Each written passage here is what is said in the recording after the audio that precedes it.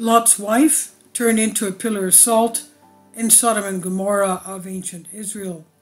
There are those who believe that the image that you'll see here in Jordan could be that same wife turned into a pillar of salt stone.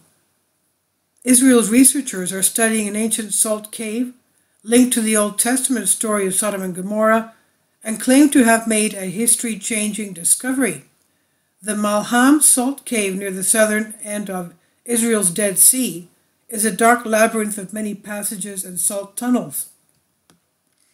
This ancient cave on Mount Sodom has been found to be the world's longest salt cave, following an extensive mapping of its internal network, according to detailed researchers by Hebrew University of Jerusalem with the support of international volunteers, as reported by the British Express.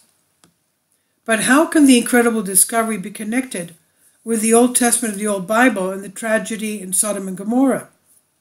According to the Bible, these sinful cities were destroyed with brimstone and fire as a punishment for the perversions that were being done there.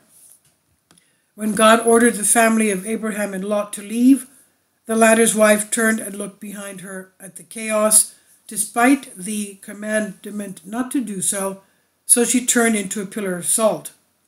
Let's remember that even the people in Pompeii turned into stone, right? The pyroclastic flow got to them. Now, this incredible biblical story is said to be imprinted in a find where a particular pillar of salt near the entrance was named Lot's wife.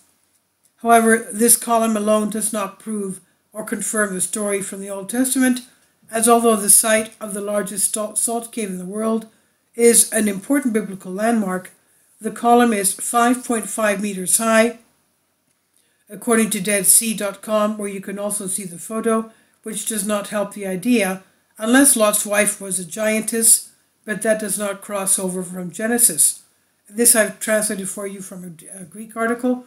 Let's remember that uh, before the flood, uh, of course, Abraham was after the flood, but before the flood, people lived much longer and they were uh, bigger in size.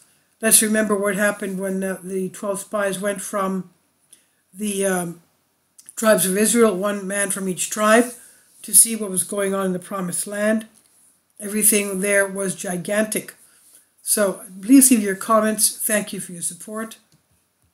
I've translated this from a Greek article. Thank you. Kindly support my Patreon account. The daily posts are five videos daily, and they are totally different from what I have on my YouTube channel. Thank you so much for your support and that you find all my content so interesting. You'll find the Patreon account details in the description box below.